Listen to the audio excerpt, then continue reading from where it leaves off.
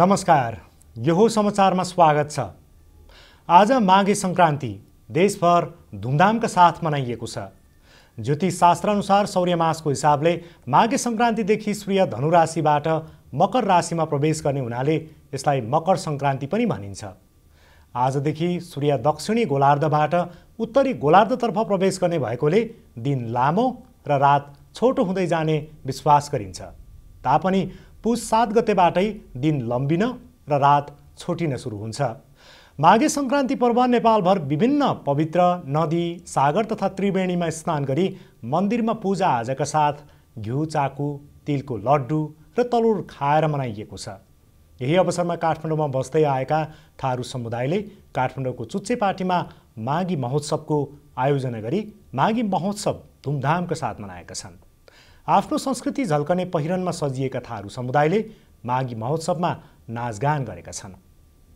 माघी महोत्सवमा काठमाडौँमा रहेका सबै आफन्तलाई बोलाएर मिष्ठान्न भोजनसहित शुभकामना समेत आदान प्रदान गरिएको छ। आफन्तहरूबीच शुभकामना आदान प्रदान तथा मिष्ठान्न भोजन खुवाएर यो पर्व काठमाडौँमा पनि भव्यताका साथ मनाइएको थारू युवा सभाका अध्यक्ष कानुनलाल चौधरीले बताउनुभयो। हामी थारूहरूले प्रकृतिसँग सम्बन्ध राख्ने भएको हुनाले हामीले यो धर्म यो पर्वमा पनि प्रकृतिलाई नै पुज्ने गर्छौँ। हामी बिहानै तपाईँको तलाउ पोखरीहरूमा गएर स्नान गर्छौँ। त्यहाँबाट आइसकेपछि त्यसपछि हामी प्रकृतिसँग सम्बन्धित देवी देवताहरूलाई चाहिँ पूजाआजा गर्छौँ। र त्यसपछि हामीले आफ्नो विविध कार्यक्रमहरू चाहिँ अगाडि अगाडि बढाउँछौँ। महोत्सवमा थारू जातिका विभिन्न खानाको परिकार राखिएको एक सय दसवटा स्टल राखिएको छ। चुच्चे पार्टीमा थारू समुदायले माघी महोत्सव मनाइरहेका बेला मगर समुदायले भने खुला मञ्चमा भेला भएर माघे सङ्क्रान्ति मनाएका छन्। विभिन्न झाँकीसहित प्रभात फेरी निकालेका मगर समुदाय खुला मञ्चमा भेला भएर नाचगान गरेका छन्। इलाममा अनसनरत डाक्टर गोविन्द केसीको स्वास्थ्य बिग्रँदै गएपछि सुईबाट एन्टिबायोटिक आइभी एन्टिबायोटिक औषधि दिन सुरु गरिएको छ। केसीको स्वास्थ्य अवस्था अझ कमजोर हुँदै गएकाले उहाँकै सहमतिमा आइभी एन्टिबायोटिक औषधि दिन सुरु गरिएको मङ्गलबार अस्पतालले जारी गरेको सूचनामा उल्लेख छ। अस्पतालका निमित्त medical superintendent doctor Brijesh Kumar शाहले केसीलाई अन्य कुनै पनि औषधि प्रयोग नगरिएको बताउनुभयो।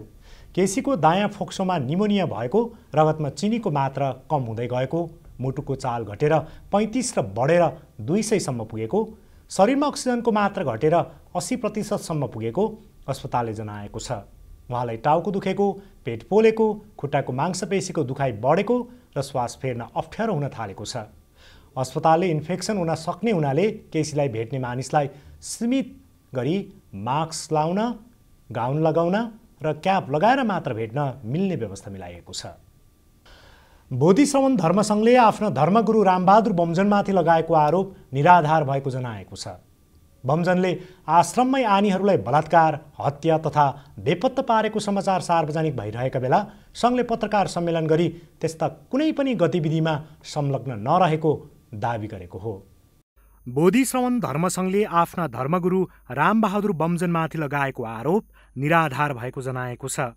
बमजनले आश्रममै आनीहरूलाई बलात्कार हत्या तथा बेपत्ता पारेको समाचार सार्वजनिक भइरहेका बेला सङ्घले पत्रकार सम्मेलन गरी त्यस्ता कुनै पनि गतिविधिमा संलग्न नरहेको दावी गरेको हो। करोडौँ अनुयायीको विश्वासको धरोहर आफ्ना गुरु बमजनमाथि चेलाहरूलाई हत्या बलात्कार र बेपत्ता पारेको भनी आएको समाचार सत्य नरहेको सङ्घका अध्यक्ष निलबहादुर थिङले दावी गर्नुभयो। उहाँले भूकम्पका बेला सम्पर्कमा नआएका आनीहरूबारे सम्बन्धित परिवारले खोजी गरेको विषयलाई लिएर बमजनमाथि आरोप लगाइएको भन्दै आपत्ति जनाउनुभयो। बोधि सवन धर्म सङ्घले सञ्चालन गरेको आश्रममा कोही कतै बेपत्ता भएको छैन। हाम्रो स्पष्ट धारणा बचिरहेका छौँ। र अर्को कुरो प्रहरीमा प्रहरीमा उजुर बाजुर गरेको के भनेदेखि हाम्रो मान्छे यसरी के भने त्यो बोधि सवन धर्म सङ्घले सञ्चालन गरेको चाहिँ सेन्टरमा आउने जाने गर्दथ्यो। र भूकम्प गएपछि सम्बन्ध सम्पर्कमा आएन। बेपत्ता भएकोले खोजी खोजी पाउँ भनेर प्रहरीमा निवेदन मात्रै गरेको छ कसैलाई आरोप लगाएको छैन त्यहाँ र त्यसको लागि पनि नेपाल सरकारले अनुसन्धान गरिरहेको छ।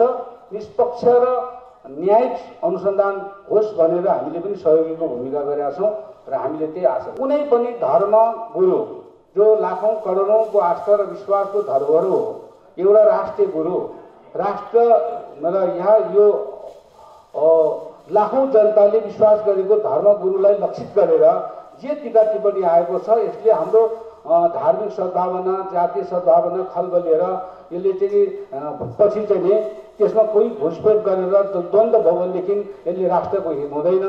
सङ्घले आफ्ना गुरु बमजनमाथि मुलुकमा सामाजिक सद्भाव बिथोल्न खोज्नेहरूले झुटा आरोप लगाएको भन्दै भ्रम नपर्न पनि आग्रह गरेको छ। बमजनमाथि आश्रममै आफ्ना अनुयायीलाई बलात्कार गरेको बेपत्ता पारेको लगायत आरोप लगाइएको छ। बमजन विरुद्ध अनुयायी बेपत्ता पारेको र बलात्कार गरेको गुनासो आएपछि प्रहरीले पनि बाह्रको हलखोरिया सिन्धुपाल्चोकको धापसारा आश्रममा अनुसन्धान सुरु गरेको छ।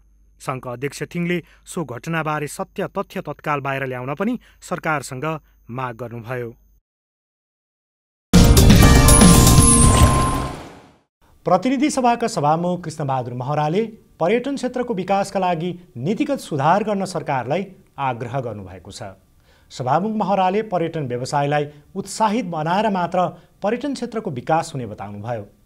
मङ्गलबार Nepal tour and travels association Nepal नाटकको बाहन्नौ वार्षिक साधारण सभाको उद्घाटन गर्दै उहाँले पर्यटन विकासका लागि पर्यटन व्यवसायले महत्त्वपूर्ण भूमिका निर्वाह गर्दै आएको बताउनुभयो।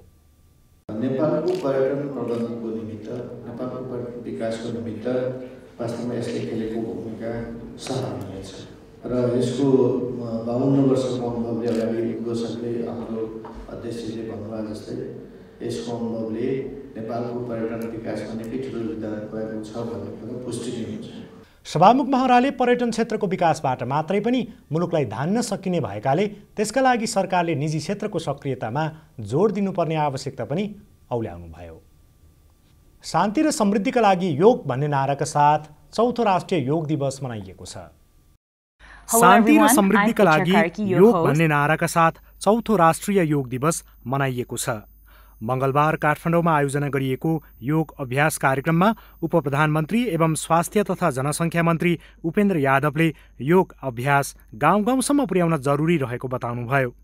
योगले शारीरिक तथा मानसिक रूपमा नागरिकलाई स्वस्थ बनाउने भएकाले सरकारले यसलाई जोड दिएर राष्ट्रिय दिवसको रूपमा मनाउने गरेको उहाँले बताउनुभयो। योगा